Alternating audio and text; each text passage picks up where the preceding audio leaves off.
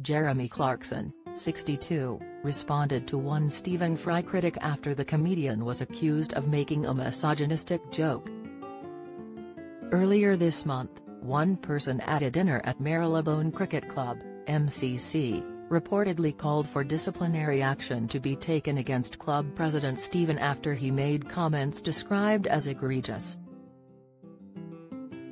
Following the controversy, Jeremy reacted to the accusation, saying it was tragic how nowadays allegations can be immediately accepted as fact.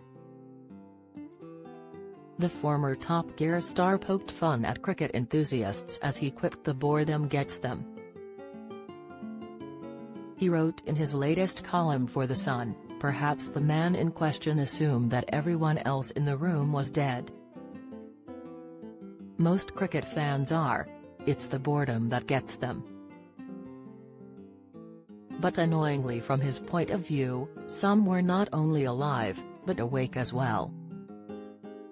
Jeremy went on, and they came forward to say that Stephen hadn't been offensive at all. It's tragic, isn't it, that we live in a time when one person can claim something and that it's immediately accepted as fact?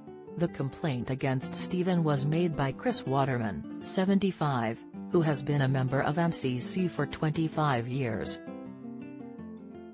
He claimed Stephen stood up to welcome those to the dinner, saying, I had intended to say good evening, ladies and gentlemen but there are no lady members present.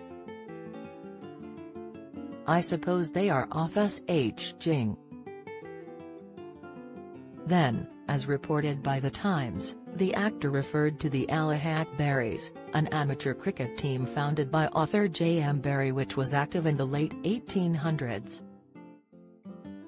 The club and some others who were present at the dinner have since disputed the claims. Guy Lavender, chief executive and secretary of MCC, told the aforementioned publication the claims are factually incorrect. He said, the dinner in question was enjoyed by those that attended and we have not received any other complaint from attendees in this regard. However, on Saturday, Mr. Lavender acknowledged the complaint had been received, Mail Online reports. Other diners claimed what Mr. Fry actually said was, I had intended to say good evening, ladies and gentlemen but there are no lady members present. Now we can talk about S.H. Jing. The attendees at the Blackadder Star was intending to mock the underrepresentation of women at the dinner, on Saturday, Mr. Waterman told the Mail on Sunday, the MCC is male, pale, frail and stale. I have been trying to reform it for eight years.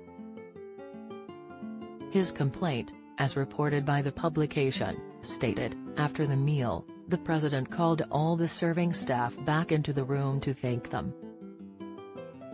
I interrupted and asked him if he would apologize for his earlier comments about women, and he said, no, I was referring to women members and continued speaking. Express.co.uk has previously contacted Stephen Fry's representatives for comment.